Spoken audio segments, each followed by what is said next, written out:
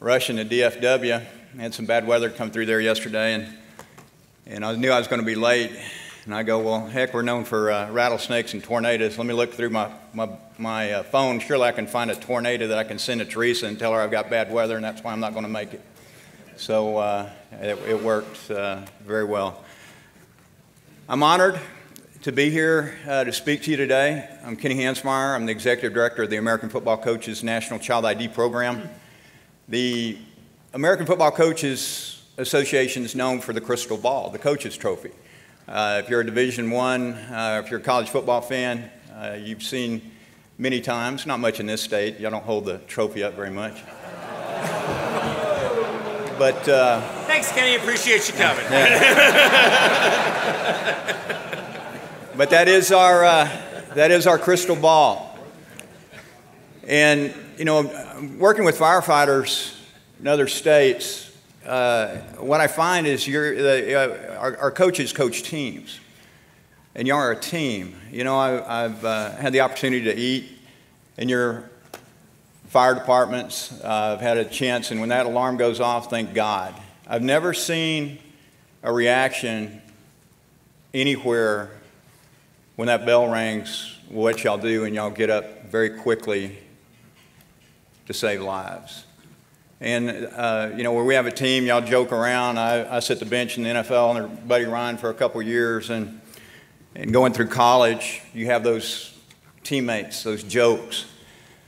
I've, uh, I've learned a few more. Yeah, evidently, I like to play practical jokes on uh, everybody, and I've been told not to eat the donuts if they come from another firehouse. So I have not eaten any donuts, any firehouses, and will not. So I appreciate that. Again, I'm 54 years old, and I'm not afraid. I was taught a long time ago to, you know, not be afraid coming across the middle. I would still put on a headgear and go across the middle and not worry about getting hit. But if a candle catches a drape on fire in my house, I'm running out of that. I'll be the guy that's running in circles in the front yard waiting for y'all to get there. Y'all are taught you're cut from a different, God made y'all and He cut you from a different cloth. You're taught to run in. I'm taught to run out. I commend you for what you do. Uh, you, you, know, you hear this, you are heroes. What I've also learned is y'all have to fight for everything you get. I'm so appalled now that we did get to deal with firefighters that all you want is a fair wage. It's what Lou and them fight for for you every day. You hope uh, that you get a fair wage for what you do. You want a little retirement because you want to go fishing or go hunting when you retire. So you want a little money for that. And if you're hurt, you want to be taken care of. And uh, I will assure you, our coaches will support you on the house in the house in any state house, any congressional house in the country. If Lou needs something, our coaches will be there to march with you to get you the benefits that you need, and because uh, you're part of this team now. 19.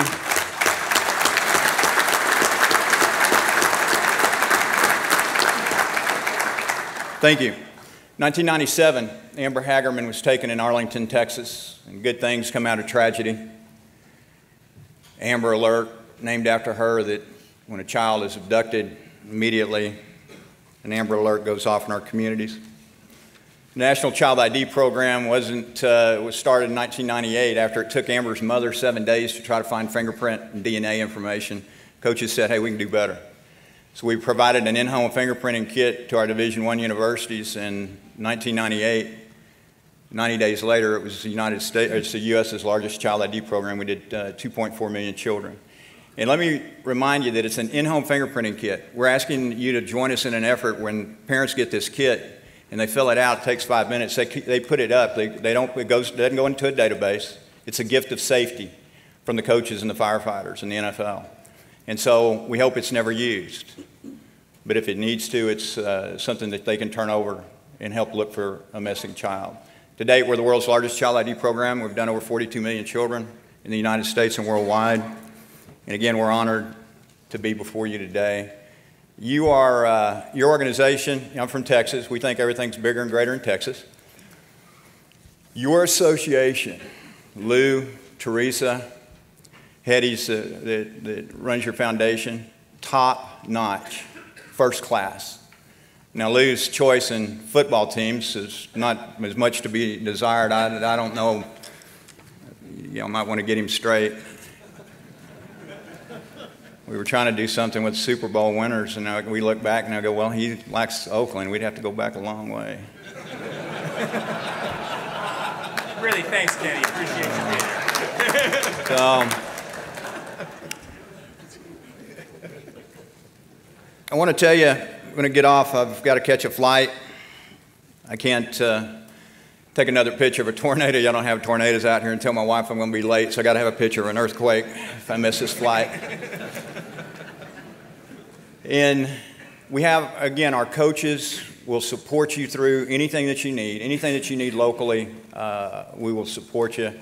Uh, our athletes are, are 100% uh, driven uh, in this partnership. We have tens of thousands of memorabilia that we give out uh, to raise funds for the program. Well, I'll talk a little bit, just real quick in a minute, um, uh, about your raffle, but I'll, I'll close with that. In 1998, after we finished the program, Roger Staubach called me and he said, Kenny, we were lining up helmets for athletes to sign, and he'd signed 500 with uh, Troy Aikman, and we were doing some different things to promote the program. And um, he said, Do You have anything from Walter? And I said, Walter? He said, Walter Payton. And I go, Oh my God, no, we don't. He said, Hey, well, get me 100 helmets. I'm going to call Walter and see if he'll sign those for the program, and that'll be a good way for us to kick this off in Chicago. So we sent those helmets up. Walter said he'd be happy to do it. We sent them up in the spring.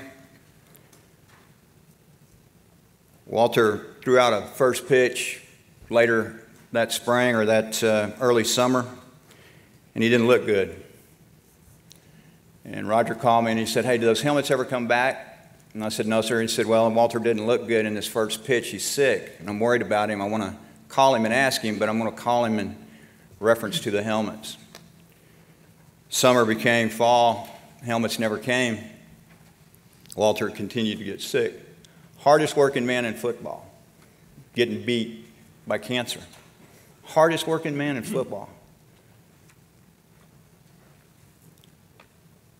Got a phone call on a Thursday in October, just trying to hustle up. It was Roger. It was uh, Halloween, right around Halloween. He said, Hey, did that, those helmets got back yet? And I go, No, sir. And he goes, I'm going to go ahead and call Walter and just see how he's doing. And I said, All right. And Friday rolled around. I was late in the office, about 5:30. My shipping man came in and he said, "You're not going to believe this. There's some Chicago Bear helmets that I just unloaded." I was very excited. Went back there and signature looked strong. I was very, very excited, and I picked up the phone and left Roger Staubach a message at his office that those helmets had finally gotten there. Got a phone call Monday morning from Roger's secretary said, Kenny, I got your message. It's too late for Roger to call. It's going to be announced that Walter passed away this morning.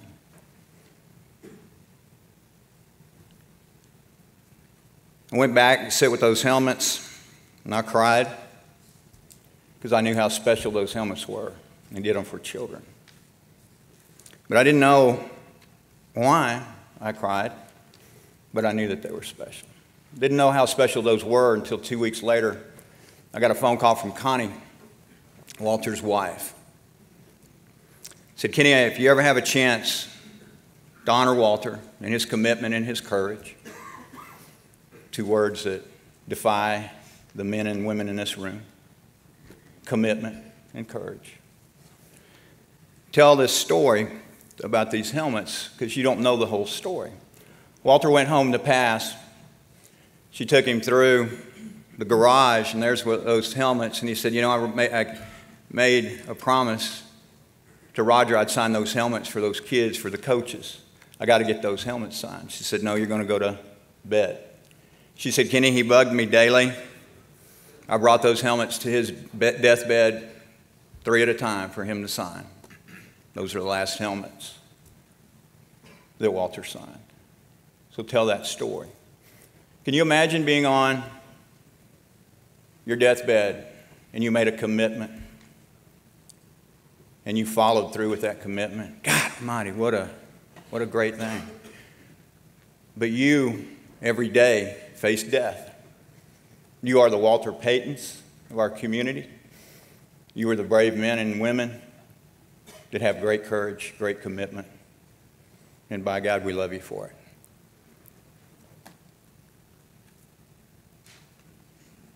We got a raffle going in the back. It's to raise money for the program, but it's also to ra- uh, bring recognition. I know I'm going to get yelled at from the foundation for what I'm about to do because the foundation likes to make sure that the T's are crossed and the I's are dotted.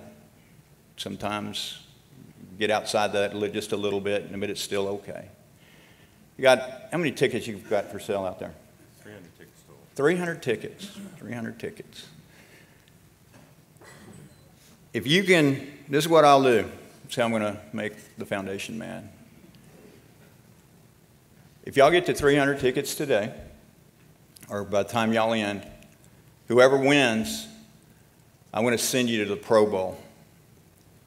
So you'll get to go to the Super Bowl next year, and I'll send you and your guest. And I'm going to tell you if you're a man and you win these tickets, if you don't take your wife, you won't be married very long.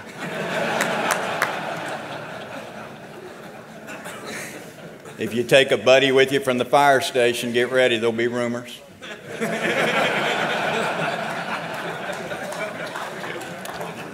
But could you imagine now that the Hula Bowl? I mean, I'm sorry, the Pro Bowl is where it's either going to be in Houston. Uh, the NFL is deciding on it. It's going to go back to Hawaii next year. And then, boy, you really will be ha- having a lot of talking if you take your buddy to Hawaii with you. Boy, doesn't that be? You, won't be able to make it out of town. So, what we want to do, we want to honor you, but we also want to get moving with the program. We want to make sure that I think uh, Joe Montana signed 24 balls for this uh, event to kick this off. Some of those balls are here. If y'all will also, uh, if you have buy five tickets, you'll get a Joe Montana football. Um, and then when you take it home, put it on eBay. It's, it's probably worth about $750, so don't, don't rush home too, too quick to get your money back. But if y'all will do that, I'll send somebody, if whoever wins this uh, trip here, if y'all get rid of those tickets, I'll throw in a, a trip to the Pro Bowl. We'll fly you over, over, put you there for three days, and uh, and uh, bring you back. And if it's in Hawaii, we'll put you at Hawaii. If it's in Houston, we'll, then you'll be spending a week down there going to the Pro Bowl, then going going on to uh, the Super Bowl. We appreciate everything you do. God bless you uh, for what you do. And again, I'm going to tell you, have no doubt in your mind how good this organization is. This is the top this is the state in America. This is the top state association. You got you're gonna give me that twenty dollar bill because I gotta I gotta get out of here. All right. God bless you, gentlemen, ladies.